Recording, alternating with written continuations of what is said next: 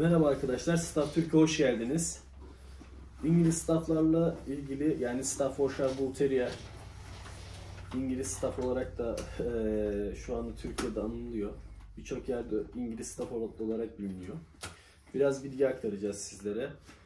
Yeni kanunla ilgili, yeni eee, kanunun İngiliz staff üzerinde, Staffordshire Bull Terrier üzerindeki etkileriyle ilgili.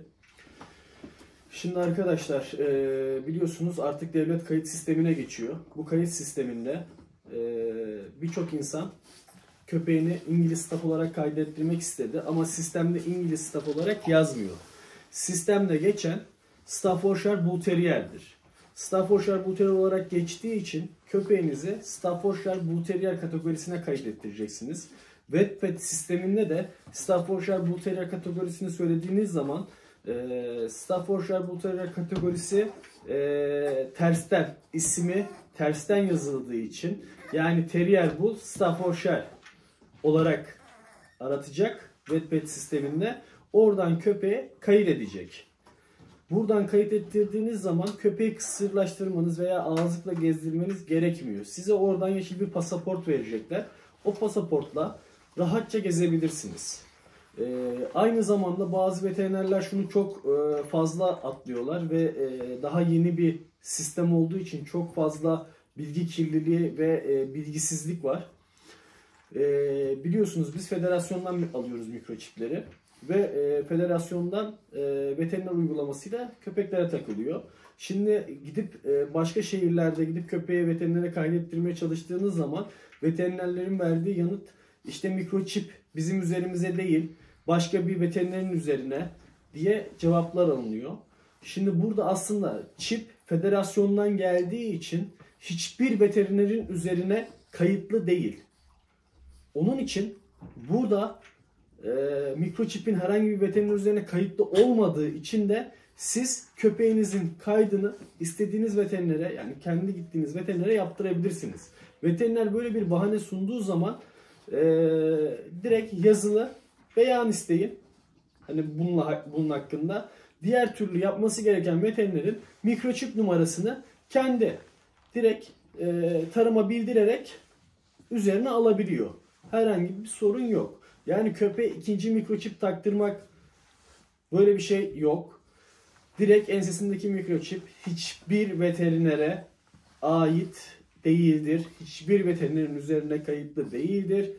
Ee, Köpek Irkları Federasyonu'ndan bize direkt e, boşta gelen bir mikroçiptir. Bunun bunu sadece bilen Köpek Irkları Federasyonu'dur. Gittiğiniz veteriner mikroçipi tarıma beyan ederek o mikroçip numarasıyla köpeğinizin kaydını yapabilir. Böyle bir bilgiye geçmek istedim. Çünkü çok fazla dediğim gibi bilgi kirliliği var. İnsanlar panik yapıyor. İşte köpeğimizi kısırlaştıralım mı? İşte köpeğimizi ağızlıkla mı gezdireceğiz? Arkadaşlar tehlikeli ırk sınıfında e, Staffordshire Bull Terrier yok. Bununla ilgili CİMER'den yazılarımız var. Evet e, oylandı komisyonda birçok ırk oylandı. Yani aklınızın hayalinize gelebilecek bir gelebilecek birçok ırk e, onaylan şey yaptı, sunuldu.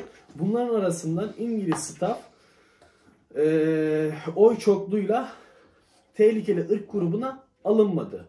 Kolay kolay da alınması mümkün değil. Çünkü 20 kilo altı bir köpek e, çok fazla tehlikeli e, tehlike arz eden e, olarak görmüyorlar Türkiye'de. Tabii ki de e, şimdi %100 olmayacak demeyelim. Ama şu anda görünen, konuşulan hiçbir şekilde İngiliz staff'a e, yasak gelmesi söz konusu değil. Diğer ırklar için de tabii ki de üzüldük. E, bu durumdan biz de hoşnut değiliz. Çünkü tüm canlıları seviyoruz. Tüm köpekleri seviyoruz. Şimdi burada bakıldığınız zaman e, ben sadece gerçekten kendi fikrimle söyleyebilirim. Pitbull için e, bence ya ağızlık kısmı gerçekten sıcak havada çok büyük e, sıkıntı. Ama biliyorsunuz Pitbull artık herkes üretmeye, çoluk çocuğun eline geçmeye, dövüştürülmeye başladı. Yani burada bir önüne dur denmesi gerekiyordu. Amerikan staff, Amerikan staff ve Amerikan Blue e, bu maalesef kurban edildi. Yani onlar da e, tehlikeli ırk grubuna sokulacak köpek değildi normalde. Neden böyle bir şey oldu? Tabii ki de içeriğini çok fazla biz de bilmiyoruz. Ama bunlara biz de tabii ki de üzülüyoruz. Çünkü aynı zamanda Amerikan Staff Derneği'ni kuran kişilerden biriyim. Amerikan Staff e, bakmış kişilerden biriyim.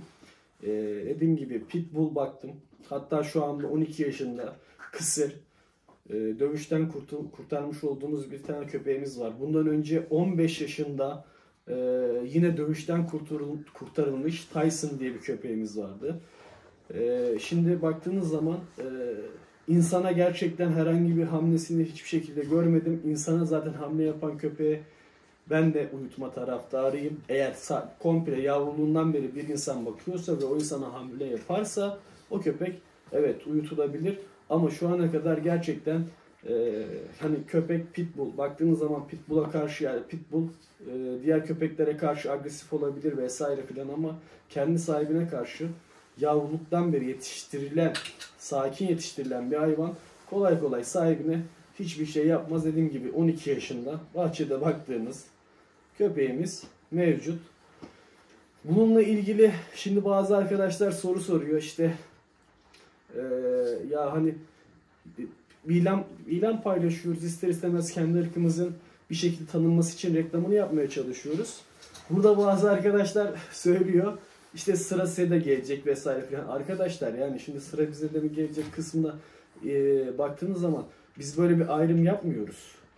Yani biz sıra bize gelsin gelmesin bu önemli değil. Sonuç olarak Amerikan Staff Derneği eee, yaptığı şeylerde biz de elimizden geldiği kadar yanında durduk. E, şimdi Amerikan Blue benim hiç konu yani bu konulara dahil edildiğini hiç bilmiyordum. Ama şimdi bizim elimizden gelen bir şey yok. Burada koşturması gereken bu ırkın dernekleri, dernek başkanları. Yani burada şahısların yapabileceği herhangi bir şey yok. E şimdi e, baktığınız zaman olaya şey gibi duruyor. Yani sizinki yasaklanmadı. Ya tamam tehlikeli ırk grubuna sokulmadı evet. Ya sokulsa daha mı iyi olacaktı? Hoşunuza mı gidecekti? Yani insanlar sanki hani öyle bir yazıyor. Şimdi ben size burada tutup da örnek veriyorum gidip bu Beykoz'a barınağa doğru giderken e, birçok köpek atıldı. Ben size bunları beslediğimi illa göstermek zorunda mıyım? Veya örnek veriyorum şu anda daha demin bahsettiğim gibi bahçemdeki pitbull'u e, kurtarmışım. Bunu videoya çekip de ben bunu kurtardım diye size reklam mı yapmak zorundayım? Örnek veriyorum şu anda bir tane daha dogo var kapımın önüne atıldı. Araba çarptı kalçası, kalçası çıktı. Kalça operasyonu yaptırdık. Şu anda benim çiftliğimde apartmanımın kapımın önünde duruyor. Sahip arıyorum. Bir kişi sahiplenmiyor köpeğe. Şimdi ben size bunun çekip de ben bu köpeği kurtardım, kalçasını ameliyat ettirdim. Sürekli bunun reklamını mı yapmam gerekiyor? Yani size bu şekilde mi gelmem gerekiyor yaranmam için? Benim yaptıklarımı ben bileyim yeter. Kimsenin bilmesine gerek yok. Ee, genel bir bilgi verdiğimi düşünüyorum.